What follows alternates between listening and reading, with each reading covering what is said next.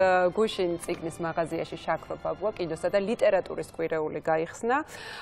ღონისძიების ფარგლებში ქართველი რეჟისორების ფილმების ჩვენება და ციგნების განხილვა მოეწყობა 12 გაკვეთილი, ასე ქვია გიორგი მრელაშვილის ფილმს, რომლის ჩვენებითაც კვირეული ოფიციალურად დაიწყო.